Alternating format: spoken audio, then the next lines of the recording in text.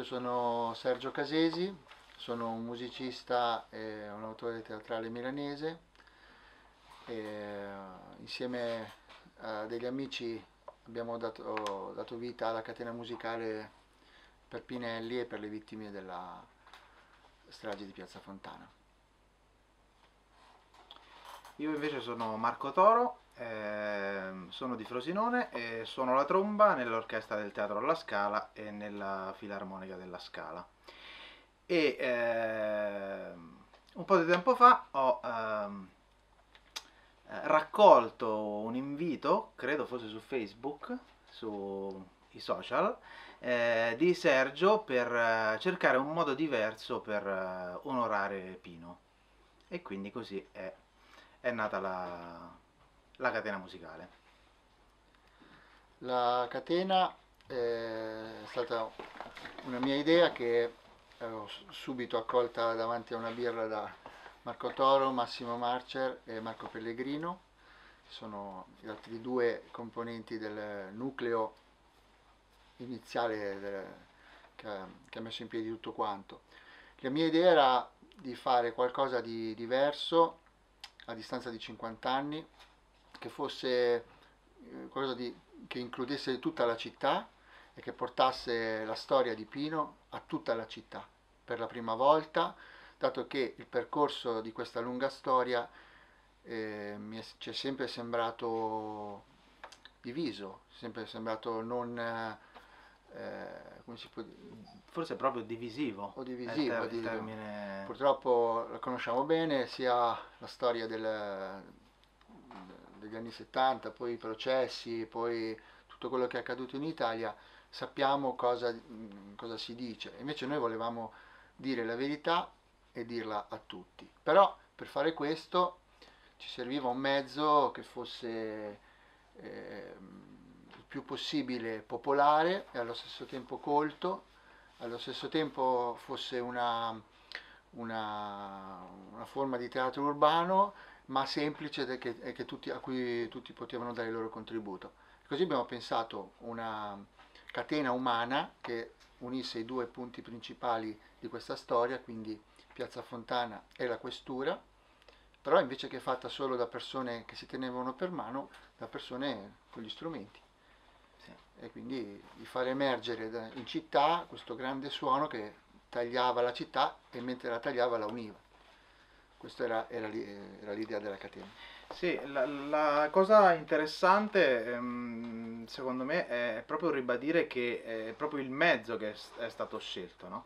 È importante per me sottolineare proprio lo strumento, lo strumento che abbiamo scelto che eh, appunto banalmente si dice che la, la, musica è un linguaggio universale, eh, però proprio, eh, secondo me proprio la musica ha fatto in modo che il messaggio fosse più generale possibile. Quindi noi diciamo il repertorio, no? noi musicisti di mestiere, il repertorio era, era molto anarchico, però ovviamente eh, eh, noi abbiamo, noi anche, anche le, le, le figlie di Pino, eh, abbiamo cercato di, di, di, aprire il più possibile questa, questa manifestazione a tutti, a tutti coloro eh, che sentivano a cuore eh, la storia di Pino e storie simili. Diciamo, non abbiamo chiesto nessun documento di identità all'entrata. Questo è stato eh, una cosa molto importante che poi eh, possiamo dire ci ha anche no, causato qualche, qualche, attrito, qualche difficoltà con un sì. certo mondo. Sì. Lo scopo era ribadire una verità a tutti. Eh, chi sono questi tutti? Eh, tutti possiamo essere tutti noi o tutti tutti. Il nostro intento a 50 anni, specie per me che sono nato dopo tutti i fatti cioè, mi sembra incredibile, assurdo che una città come Milano, in Italia, in Europa, ma una città colta, piena di, piena di intellettuali che fanno un lavoro interessante, di persone stimolanti, ancora oggi deve chiedersi se, se, cosa è accaduto, come, perché, cioè, la verità è, è quella lì, è, è, stato ucciso in, ehm, mentre era in un interrogatorio, mentre era comunque eh, trattenuto dallo Stato.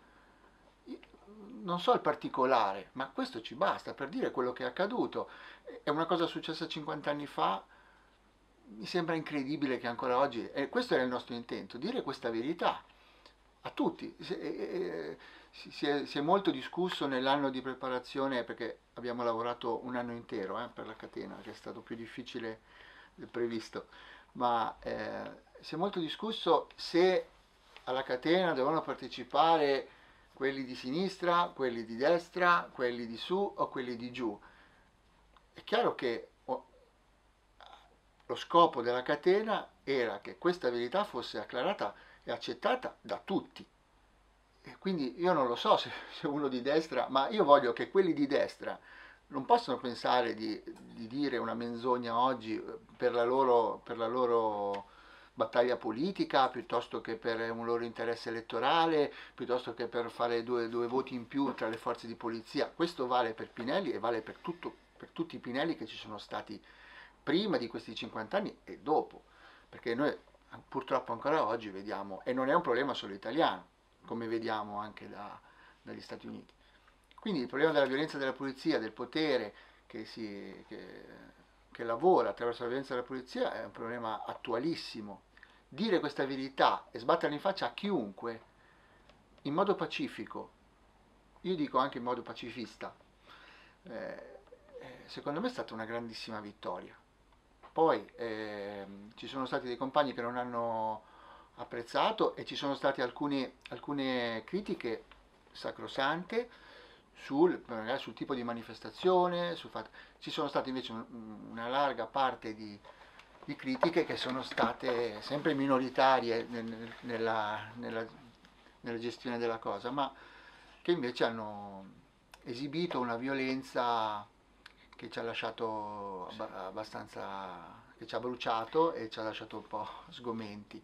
E questo è stato un argomento di discussione eh, con, eh, con Paolo Finzi, per esempio, che ha dato poi eh, l'articolo che abbiamo scritto per Paolo dopo la, sullo speciale della catena, di interrogarci su questa violenza, perché noi siamo abituati, siamo sempre stati abituati a dire della violenza della polizia, la violenza dello Stato, la violenza dei fascisti, piuttosto che le violenze di piazza, piuttosto che una violenza del sistema. Ma oggi siamo davanti a una violenza nuova, che è quella dei social, che è quella di questa grande onda dei, dei social, che invece che mh, permettere di, con, di, connettere le persone attraverso i contenuti, eh, facilita il loro scontro. Sì. E qui c'è una violenza che, che favorisce il sistema, anche di chi anche di chi si professa contro il sistema e questo è molto interessante a livello anche sociologico perché crediamo che se, se una cosa mh, doveva essere, cioè di dire questo tipo di violenza noi non la tolleriamo a 50 anni di distanza, la verità è perché non tolleriamo questo tipo di violenza, ma siamo già di fronte a un'altra violenza quasi inconsapevole che fa sempre, a mio avviso, fa sempre il gioco dei potenti poi alla fine. Questo per, per, rispondere alla tua domanda di come è nato il nostro interesse per Pinelli. Cioè, per quanto mi riguarda, eh, io per, per, le mie letture, i miei studi, eh, mi sono sempre definito anarchico, poi ho capito quest'anno che non ho mai fatto politica attiva e non, la, non credo di saperla fare ma eh, ho sempre amato i grandi testi del, del, dell'anarchismo e seguo, io ho le mie opinioni le mie, le mie riflessioni. Pinelli fin da ragazzo per me è stato il simbolo di una, eh, solo di una vita spezzata, del potere dello Stato, della strategia della tensione, ma è stato il simbolo anche di, di, di, ciò, che vuol dire, di ciò che vuol dire essere anarchici, come se per me eh, l'anarchico fosse l'unico incolpevole. Ecco, quindi io sono anarchico perché sono, perché sono anarchico? Perché così immaginavo gli anarchici degli incolpevoli, mentre abbiamo tantissime no, nella letteratura, Montale o Yates, che dicono nessuno può dirsi incolpevole, io dicevo, beh, ma forse ci sono gli incolpevoli a livello politico, chiaramente, no? a livello morale o personale, forse ci sono gli incolpevoli e sono, e sono questi, no? sono quelle persone che alla fine, eh, quando non ce n'è più, li buttano dalla finestra. E, e poi sono maturato molto questo, in quest'anno perché ho capito che anche in questo mondo c'è di tutto, eh, ma resto anarchico, eh, io personalmente resto anarchico e spero che, che la catena abbia in un certo modo, che non era, non voleva essere una manifestazione solamente anarchica, questo è, ma, ma per Pino e per l'anarchia, era proprio questo il senso. E, e, così. Non c'entra niente forse, però mi viene queste parole bellissime che Sergio ha detto, mi fanno pensare a quella sera nella quale ci siamo incontrati al pub con Massimo nella, nella quale serata nella quale veramente abbiamo parlato solo della catena e di quello che volevamo fare, non abbiamo, non abbiamo parlato appunto della, della, di, dei nostri ideali come singoli e non ci siamo chiesti ma tu quanto sei anarchico? In che percentuale sei anarchico? Oppure sei più cos'ha? Sei più no? E alla fine un po' ingenuamente, però spesso nella vita l'ingenuità può, può darci la, la, la possibilità di, di, compiere dei, dei balzi inaspettati. E, e questa, questa, ingenuità ci ha, ci, ha, ci ha, portato a realizzare quello che abbiamo fatto, no? probabilmente. Poi ovviamente eh, sì. Senza anche l'aiuto, l'aiuto di conoscenze di, di, di, di, Silvia e Claudia. Non sarebbe, non, non sarebbe stata questa manifestazione con uh, una partecipazione incredibile. Però ecco mi piace pensare a, a quella scintilla di, di, di, quella sera nella quale non abbiamo detto eh, noi siamo così quindi facciamo la manifestazione, ma abbiamo detto che cosa, che cosa significa per noi Pino, che cosa, che cosa vogliamo fare? E, e, da lì è partito tutto. E possiamo dire l'ultima cosa che, che appunto il primo eh, siamo trovati noi, poi abbiamo subito coinvolto Silvia e Claudia Pinelli e subito loro hanno sposato l'idea e si sono, hanno lavorato tantissimo anche loro per la realizzazione fino alla mattina eh, io avevo paura perché mh, mm, meno di mille persone no, non saremmo riusciti quindi la mattina io mi sono svegliato e pensavo no, speriamo che fa- ci sono almeno mille persone e invece ne sono arrivate, boh, adesso sono arrivate la questura dice 16 talmente tante persone che poi bisogna ammetterlo, la vera catena è naufragata.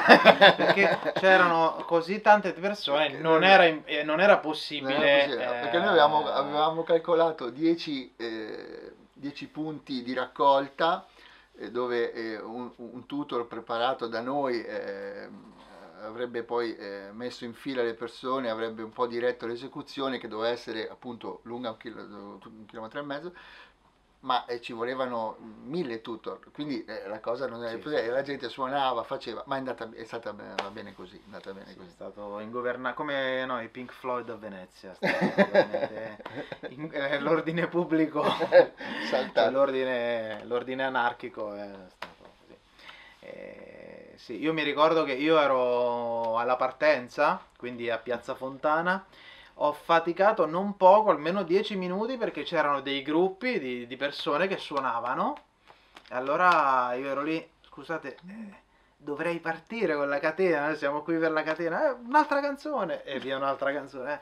Scusate, l'ultima, eh, e via un'altra canzone. Quindi, eh, però è stato, insomma, sì, è stato, è stata una festa eh, poi giungevano messaggi, no, qui sono, non so, piazza Beccaria, qui è ingovernabile. Allora è stata diventata una, un po' diverso da quello che, che, che, volevamo fare perché la catena, come l'aveva organizzata Sergio, appunto.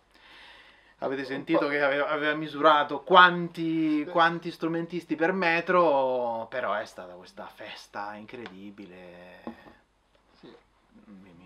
c'è commuovo ancora adesso. C'è il video di Kerchi, che, di Andrea Kerchi che fa vedere che la catena comincia, diciamo che arrivati sotto la galleria già lì eh, ci sono dieci canzoni tutte insieme. Però per un po', forse sì, appunto, sì, sì. grazie a Dio c'era troppa, troppa gente per, ed è stato bene così.